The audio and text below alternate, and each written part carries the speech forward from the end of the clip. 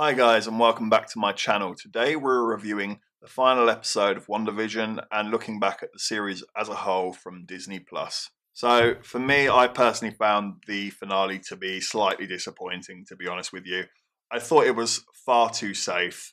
There wasn't any big oh shit moment. There was no big revelation, any shocks or any surprises. A lot of it was just big CGI fights and a lot of things being rushed and not properly explained. And I think the reason it came to that was because the pacing of the show has been very questionable, to say the least. The opening episodes offered nothing at all. We had big reveals in the middle, it was just going everywhere and mental.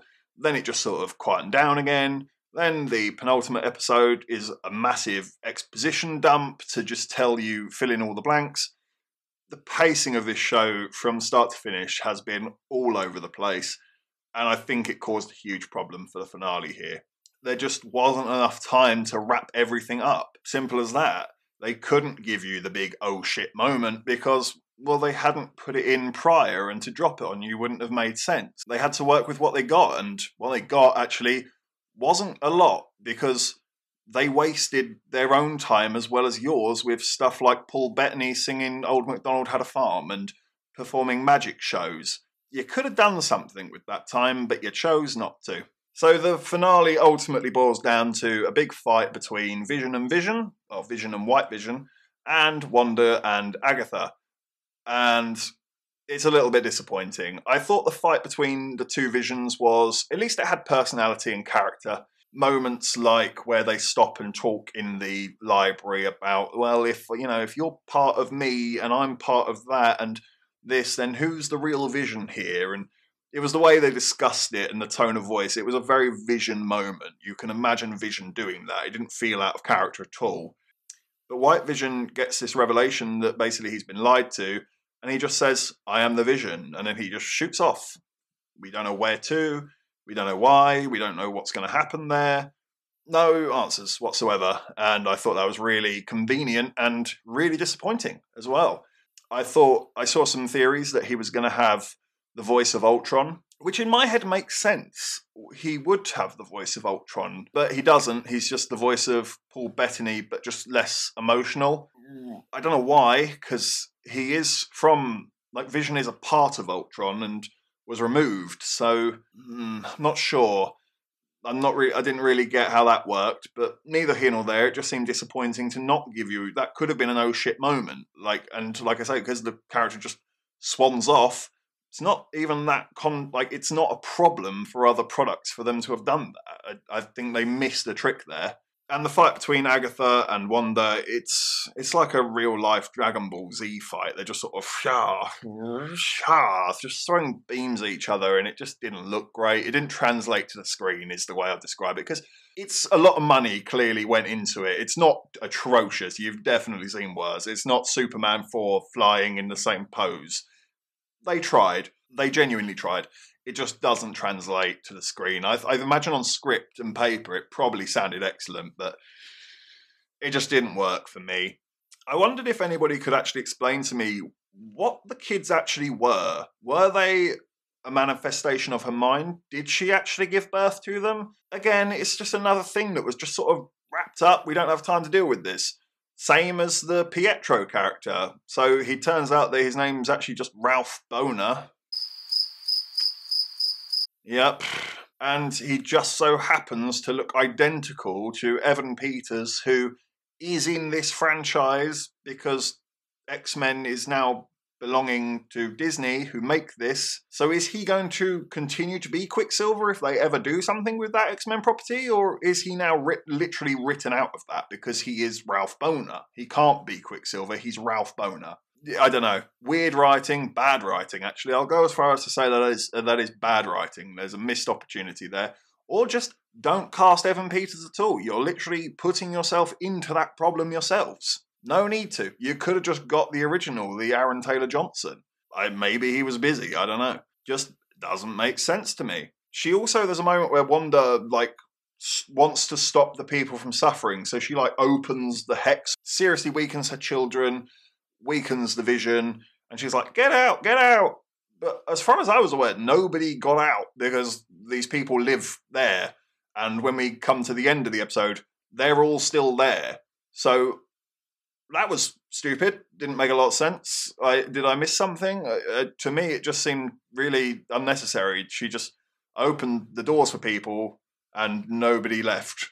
I personally, I just thought, what? That's a bit weird. And even weirder yet, when she defeats Agatha, she turns Agatha back to Agnes, the TV show character version of herself. Which makes me now wonder so, when Agnes arrived at the beginning, she seemed to be in on everything. But was she? Because apparently she turned into Agnes rather than, you know, put it on as a front. And yet, when she comes to later reveal herself to be Agatha, not Agnes, it suggests that she was aware of who she was. Now she's not? Dunno. I smell bullshit.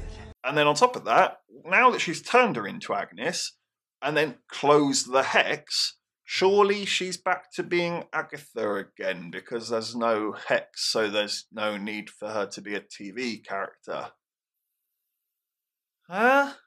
I don't know. I think that's a bit dodgy, mate. And as we come to the end of the episode, we kiss goodbye to the kids. We know we're not going to see them again because the whole thing's ending.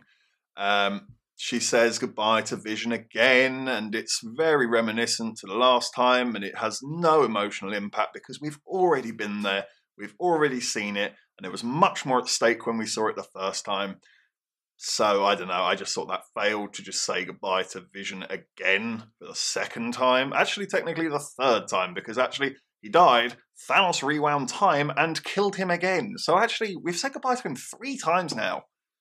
Just make your mind up with this character. Do you want him dead or alive?